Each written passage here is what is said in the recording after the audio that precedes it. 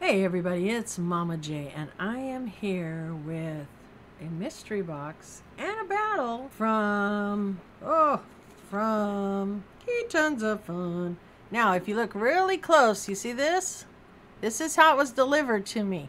It was sitting outside on my porch, just like, well, I covered this up, but just like this. Look at there. Sticker trying to escape and everything. That's some crazy shit right there. All right. Obviously, it's from Key Tons of Fun. If you're not following Key Tons of Fun, I will link them down below because you should go follow them. They're a great fun channel to watch. I've always enjoyed watching them. All right, so now we're going to go down the list of people that are in this battle.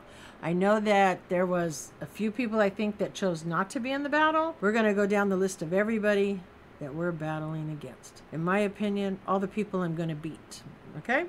So first, Amusement Archive. Umpty Scratch. Big City Pops. Cross Saved Collectibles. Collector's Conquest. Two Boys and Their Pops, aka Grandpa. We got Frog Pop Fanatic. Jeremy Collects. The Man on Da Couch. Pop Pa.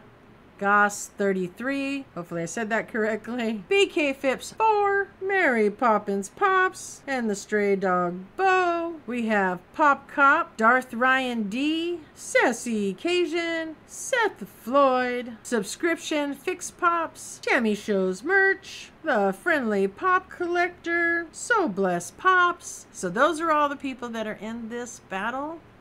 It was $20 a box shipped. We are looking for the Fun on the Run Freddy. He will be the pop that will be the winner. Then you get to choose, if you pull that pop, you get to claim one of the top five pops, I believe it is. I will post a picture right here so you guys can see what they are. But we're to pop open our box, see if we got lucky. Open one of these mystery grail box looking things in a long time. I was about to say, I open it. So let me go ahead and cut this open. All right, so we are going to pop this open and see if we got the top pull. Ready? Oh, oh, look, there's another Keyton sticker in there. There's another Keyton sticker in there. This one did not try to escape. We got, it's funny, we got the Slurpee from 7-Eleven. And the funny thing is, is I bought tons of these and was helping people out who didn't have a 7-Eleven local to them wasn't making anything, sold them all at cost. Uh, never kept any for myself. but here is the slushy pop. I'm not sure the value, but we'll take a quick look.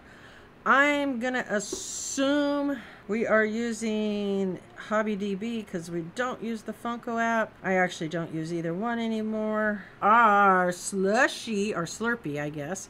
Our Slurpee pop says there are 12 variants to this pop. Ain't that some shit? 12 variants for one pop.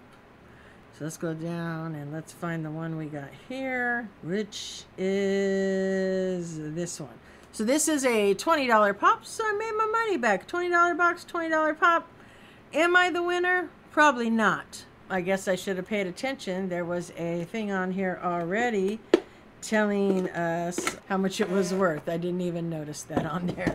But anyways, we'll take it out so you can get a better look at it. Pretty decent pop. It won't be a keeper for me. I don't collect the Slurpees, but like I said, I still got my money back.